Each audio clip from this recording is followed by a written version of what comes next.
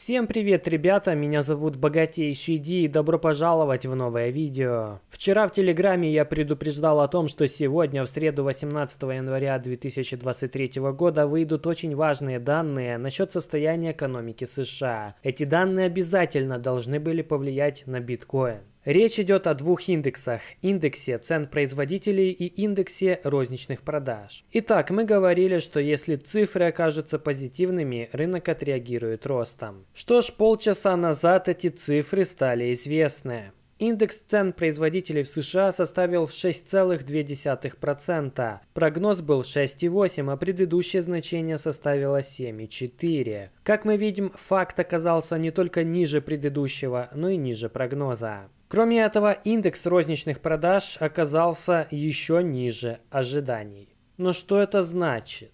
Это значит, что экономика США замедляется намного быстрее ожиданий. С одной стороны, это медвежий сигнал, но медвежий сигнал только лишь для индекса доллара, потому что чем быстрее замедляется экономика США, тем быстрее Федеральная резервная система должна будет свернуть свою политику, или по крайней мере хотя бы приостановить рост ставок. Соответственно, это плохо для индекса доллара. Однако хорошо для криптовалюты биткоина, но только лишь временно. Не забываем об этом, только лишь временно. Далее, на недельном графике биткоина появился сигнал, который действительно можно назвать легендарным. Это первый такой сигнал с 2021 года. Но что же это за сигнал такой? Что с ним делать? Давай разберемся. Посмотри сюда. Да, речь идет об этом синем красивом сигнале, который загорелся впервые за последние два года. Что же это за сигнал такой? Это хэш Ribbons, индикатор, который учитывает капитуляцию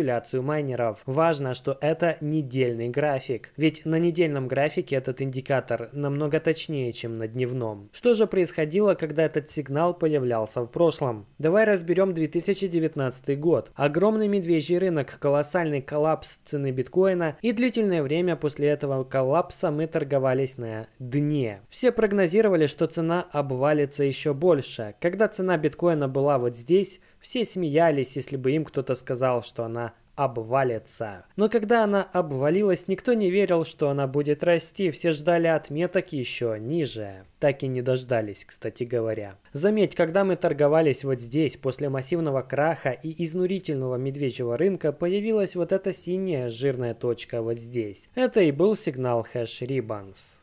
Лукас Видра любезно собрал абсолютно все сигналы хэш Ribbons на недельном графике. Их оказалось 13 штук за всю историю биткоина. В 2011 году, спустя 15 дней после этого сигнала, биткоин вырос на 76%. В 2012 году, спустя 58 дней после сигнала, он вырос на 156%. В 2013 году после этого сигнала он вырос на 1195% спустя 61 день после сигнала. В 2015 таких сигналов было 2, и биткоин вырос на 13,40% за 43 и 66 дней после сигнала HashRibbons соответственно. В 2019 и 2020 таких сигналов было еще 5. И рост после таких сигналов составлял от 13 до 250%. При этом после сигнала проходило от 36 до 133 дней. Как мы видим, сигнал покупки на недельном хэш-рибансе не означает моментального роста биткоина. Рост происходил несколько позже, поэтому после такого сигнала вполне могут быть краткосрочные падения. Это нас не должно удивить. Этот сигнал все же прекрасно себя отрабатывает на недельном графике и лишь один раз из 13 оказался неверным. Прямо сейчас этот сигнал снова загорелся на графике биткоина, вот здесь. Конечно же, это не финансовый совет, но сигнал настолько легендарный, что не сказать о нем было бы неправильно. Но и впадать в безумное фома не стоит. Напомню, что ситуация с Genesis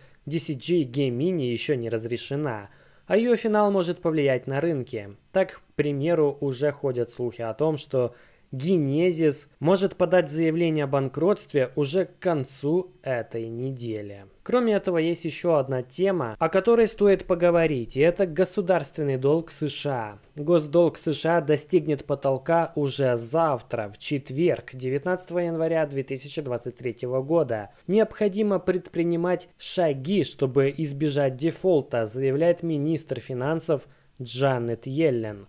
У меня сразу же возникает вопрос, а как они утвердили госбюджет на 2023 около месяца назад, если даже не учли того, что госдолг уже в начале года подбирается к потолку. Это во-первых. Во-вторых, сейчас все начнут кричать, что вот оно, дефолт США уже завтра. Что ж, такое в США происходит уже не впервые, и каждый раз в США просто поднимали потолок долго. Однако делали это так заторможенно, что тот же S&P 500 и фондовый рынок лихорадил от волатильности, и они успевали упасть даже на 50%. Так что дефолта мы не увидим, но увидим битву за то, сколько нужно будет тратить. Я думаю, что республиканцы будут выступать за значительные сокращения трат. Только в таком случае они согласятся поднять потолок долга США. Вот что должно произойти, как я думаю. Это создаст огромную волну волатильности по всем рынкам сразу. Фондовый рынок, как и в прошлый раз, может пережить коррекцию. Затем республиканцы и демократы придут к какому-нибудь соглашению и немного успокоят рынки.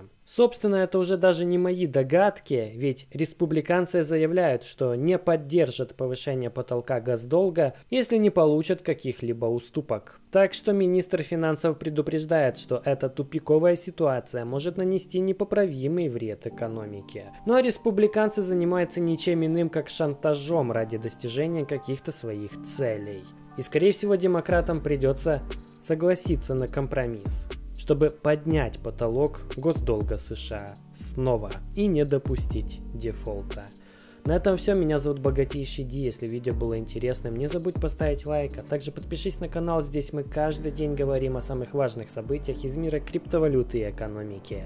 Увидимся в новых видео. До скорого.